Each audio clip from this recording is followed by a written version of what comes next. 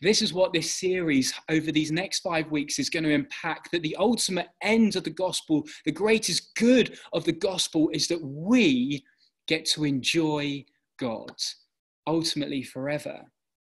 And I don't think uh, maybe that I'm the only one that maybe forgets this part of the gospel, uh, one of the most fundamental parts of it. Because, you know, as I've been thinking, as a Western church, Uh, in a kind of Western culture, we're, we're always told, isn't it? It's all about us. And that's how marketing companies operate. That's how advertisers entice us with their products. It's all about us. And therefore, often there's a danger, isn't there, that our gospel becomes all about us too. And I end up being the one that's made much of. See how God loves me. See everything he's done for me. And if the gospel ends there, if that's where it ends, who ends up being glorified? Me. Now, please don't think that what I'm saying is, you know, God loving us and all the things that God has done for us isn't something to contemplate and to, to marvel in. We should cherish that truth and, and, and praise God for it. But if that's where the gospel ends, with us looking inwards and not upwards, we're left with a very self centered gospel.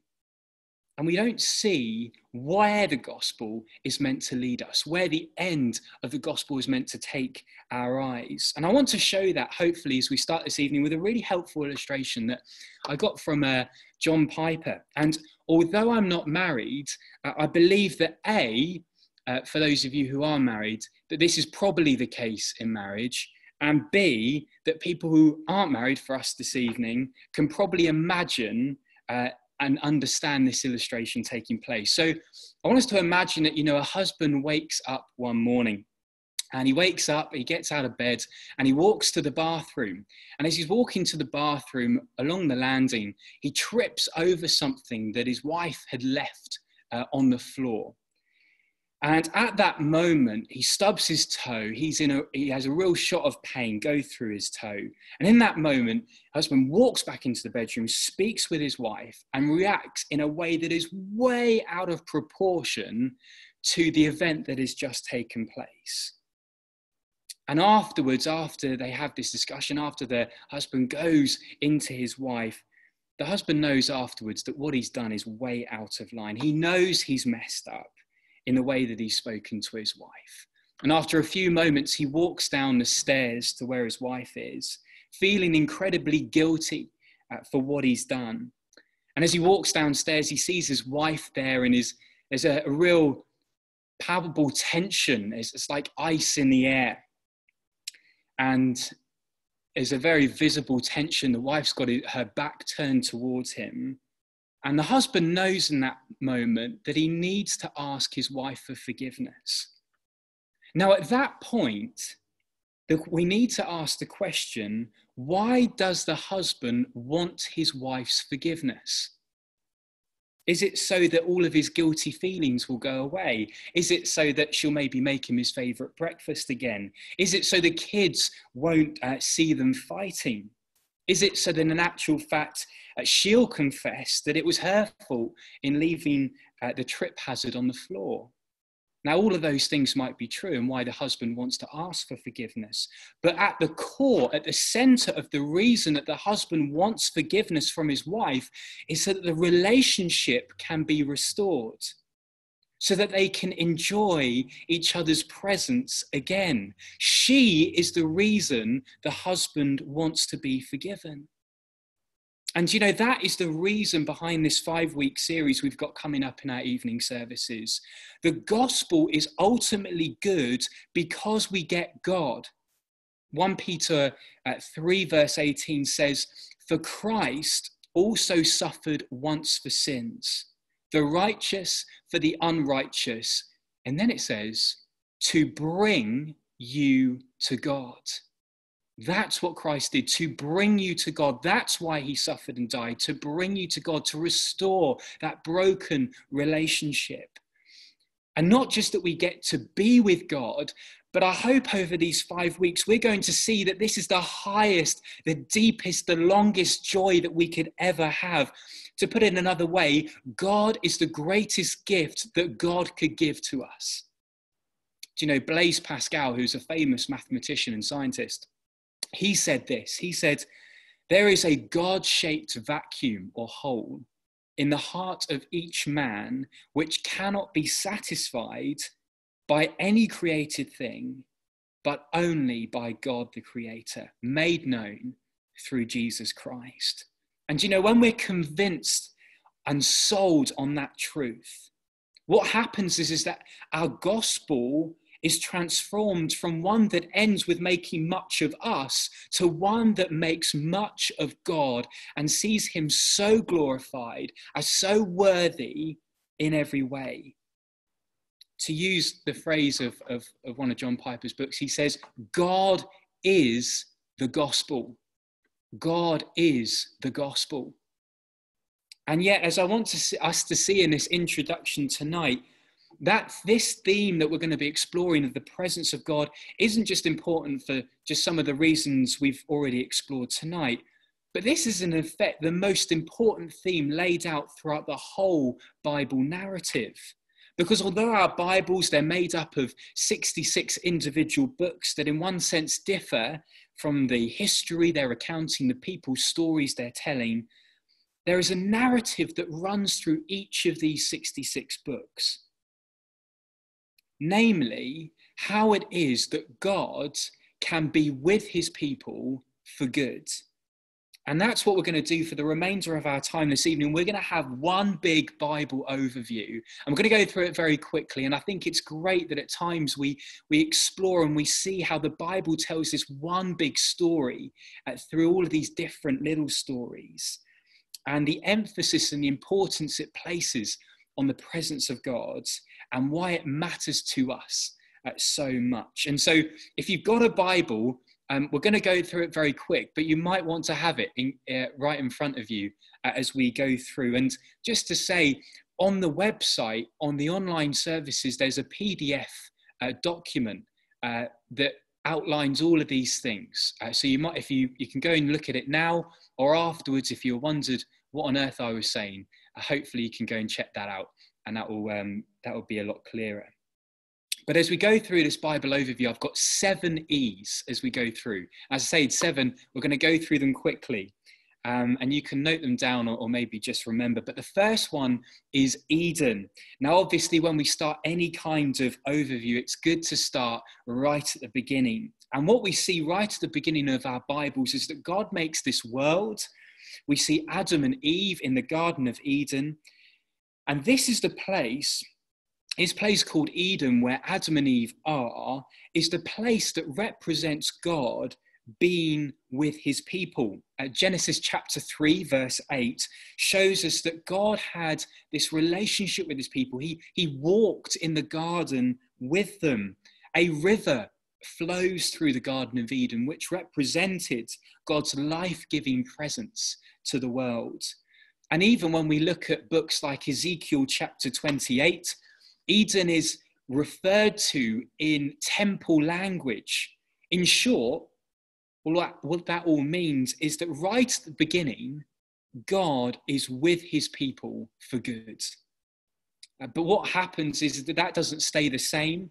Uh, as the result of the fall of a human decision to reject God's rule, Adam and Eve are banished from that garden and in one sense, they are removed from the place where God was with his people, that special place. And yet, despite humanity's willful rejection of God's rule, God chooses then one family, one man called Abraham, and promises to bless him and ultimately through him bless all the families of the world through him and his descendants and this this family that we follow for the rest of the bible Eden. Number two, Exodus.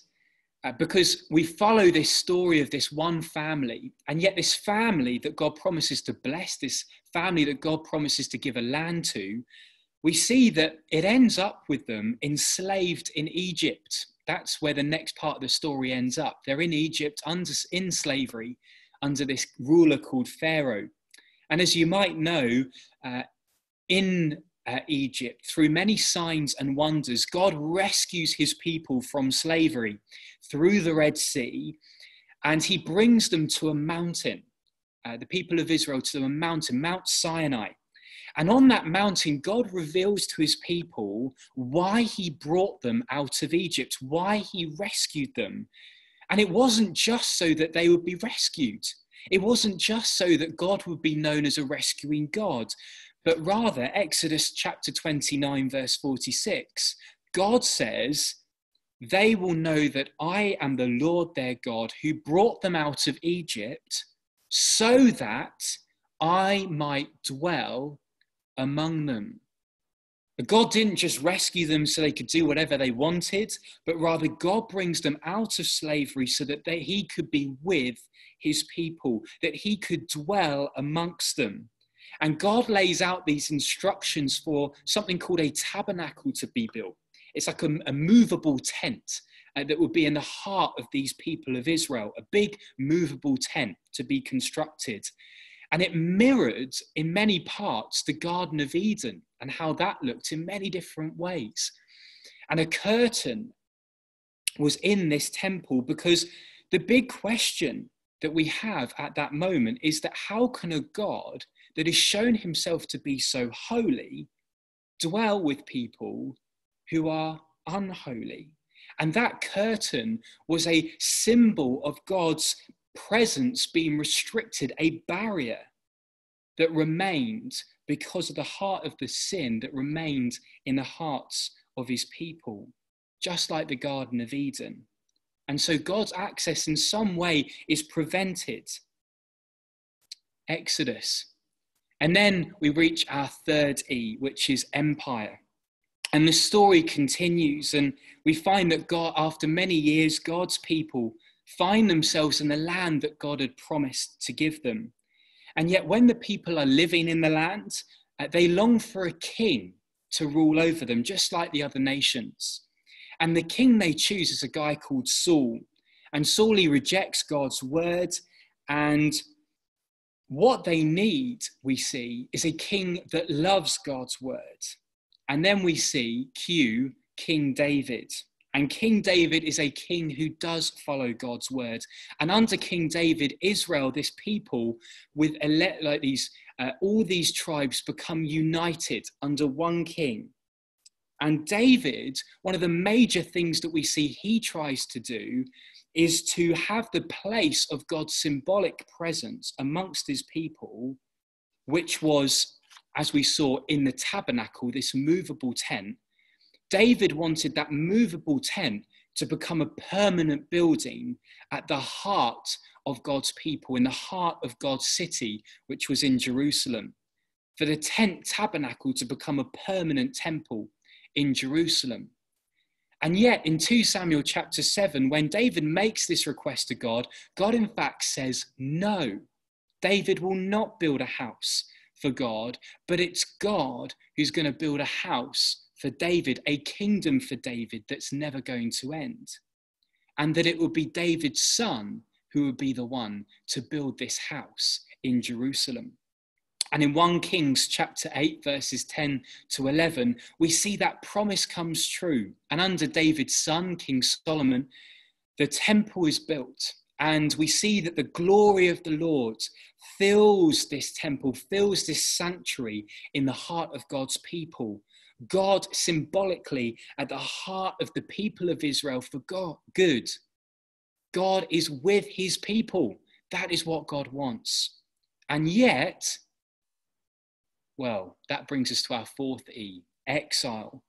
You see, for all the temple building, for all of the symbolism of God permanently with his people in the city of Jerusalem, the place where God had set his name, what comes next after King Solomon was a catalogue of kings who failed to live under God's rule.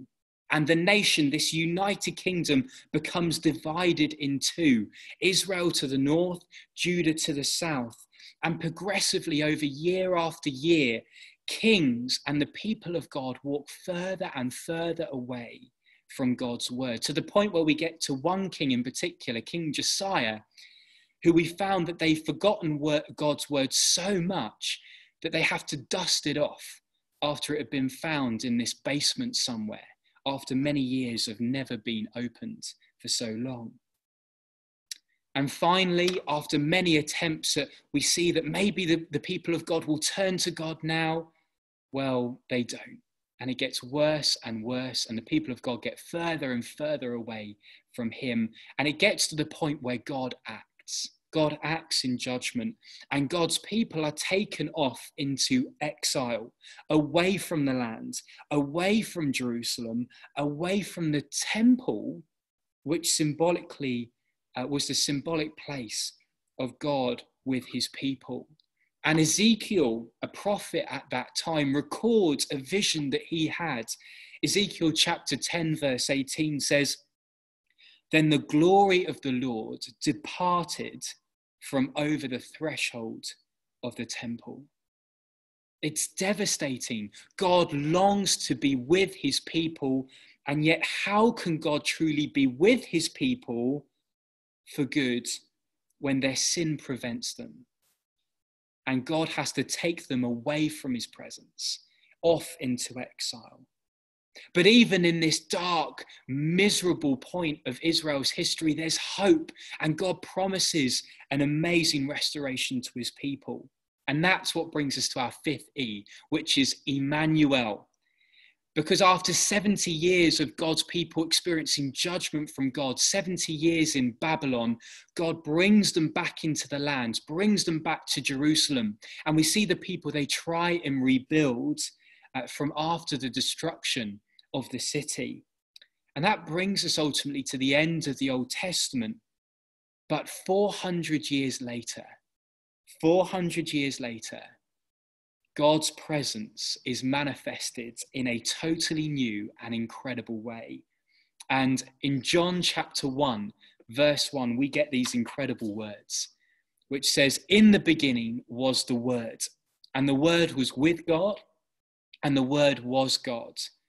And then if we look to verse 14 of John chapter 1, it says, The Word became flesh and made his dwelling among us. We have seen his glory, the glory of the one and only Son who came from the Father. Literally, John says, verse 14, Jesus tabernacled among us.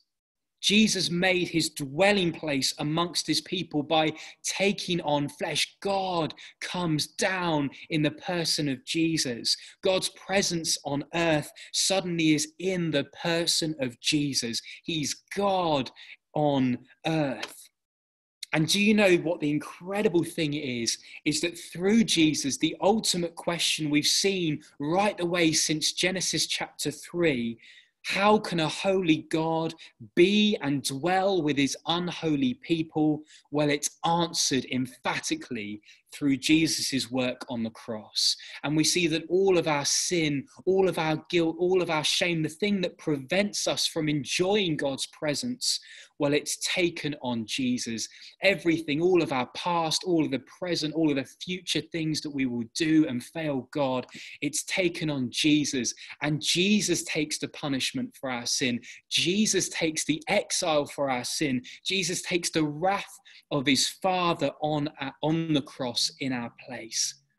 And do you know this is incredible? Look with me. As Jesus breathes his last, as Jesus breathes his last on the cross, we get an amazing statement. Read, look with me at Matthew chapter 27, verses 50 to 51. It says, And when Jesus had cried out again in a loud voice, he gave up his spirit. At that moment, the curtain of the temple was torn in two from top to bottom. That curtain that we saw earlier posed as a symbol of the presence of God being separated in some part. God's holiness is something that God's unholy people cannot just walk into. And yet, through Jesus, God has made a way for unholy people to enjoy God's presence without fear of wrath, without fear of condemnation. It is the most beautiful crescendo of what God has done. The curtain torn in two. Emmanuel, Jesus, God's presence on earth. And that brings us to number six, which is I had to, ecclesia. Ecclesia. Now, that's um, a, a, Greek word just for assembly, uh, the Greek word used for church. Now, obviously, um, we live in Caterham, 2,000 years on, and we know that Jesus isn't still walking on earth. The, he was the presence of God. He is, after his resurrection, he's ascended to the highest place. He's seated on the throne of heaven, and he's not dwelling with us physically now. But as Jesus ascended, we get this um, we get this remarkable account in Acts chapter 2 that as Jesus ascended, the Holy Spirit descends and fills God's people. God's presence now, now fills all of his people. Ephesians chapter 2, verses 21 and 22 says these incredible words. It says, In him, in Jesus, the whole building is joined together and rises to become a holy temple in the Lord. And in him, you too are being built together to become a dwelling in which God lives by his Spirit. Paul again in 2 Corinthians chapter 6 verse 16 he says we are the temple of the living God. God is present with his people by his spirit at this moment. Isn't that incredible? God's presence fills you and me as his people, as those who love and trust the Lord Jesus by his spirit. God is with his people for good. Which brings us to the last E, which is eternity. Eternity. And this is how the whole Bible ends. Revelation chapter 21, verses 1 to 4. Uh, look with me, I'll read it out for us. It says this as it's talking about this eternity that's to come. It says, Then I saw a new heaven and a new earth, for the first heaven and the first earth had passed away, and there was no longer any sea. I saw the holy city, the new Jerusalem coming down out of heaven from God, prepared as a bride, beautifully dressed for her husband. And I heard a loud voice from the throne saying, Look, God's dwelling place is now among the people, and he will dwell with them.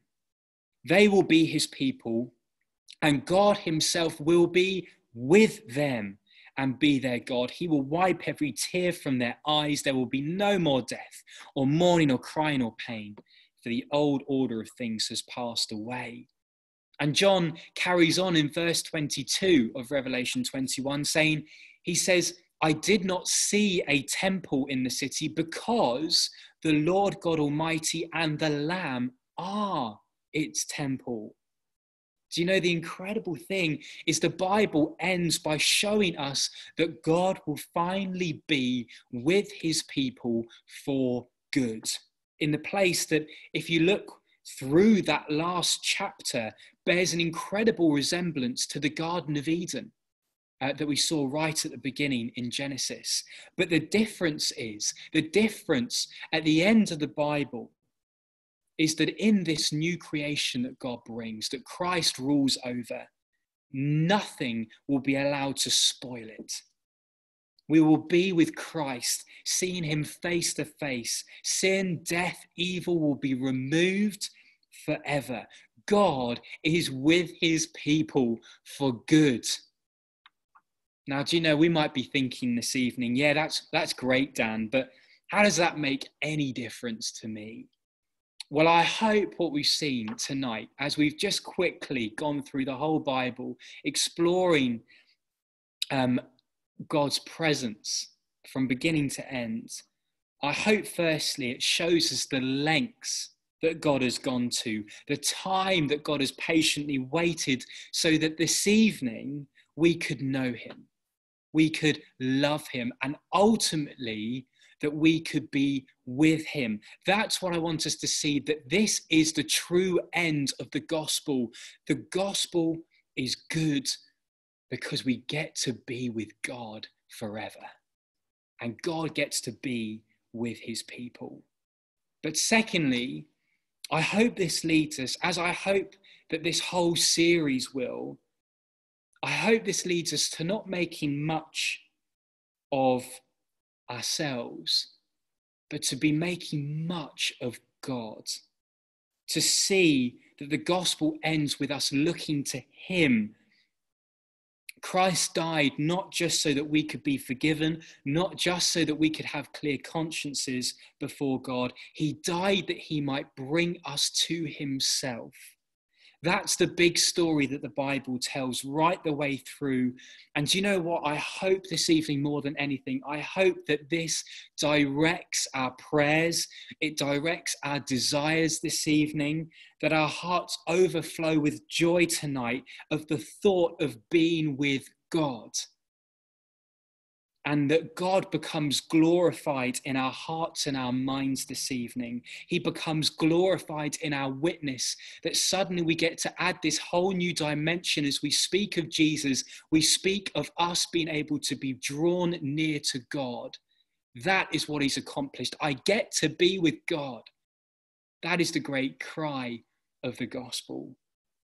And so God becomes so glorified. He becomes so glorified as we look to him and we realize this amazing statement that God really is the gospel and that God is the greatest gift that God could ever give to us this evening. Well, I'm going to pray and speak to this incredible God who has done so much to draw us to himself. Uh, so let's pray as we close tonight. Our Father in heaven, we praise you as the God who has longed since, right the way since Genesis, to be with your people for good. And we praise you, Father, for the lengths, the depths, the heights that you have gone to in order to draw us, people who are unholy, unworthy of receiving your love and your grace, to yourself. We thank you so much for Jesus.